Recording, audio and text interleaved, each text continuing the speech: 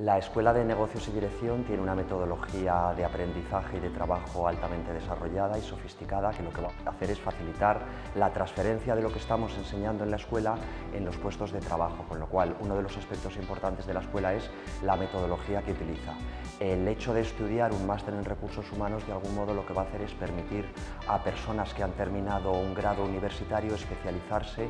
y tener muchas más facilidades de acceder a un puesto de trabajo especializado.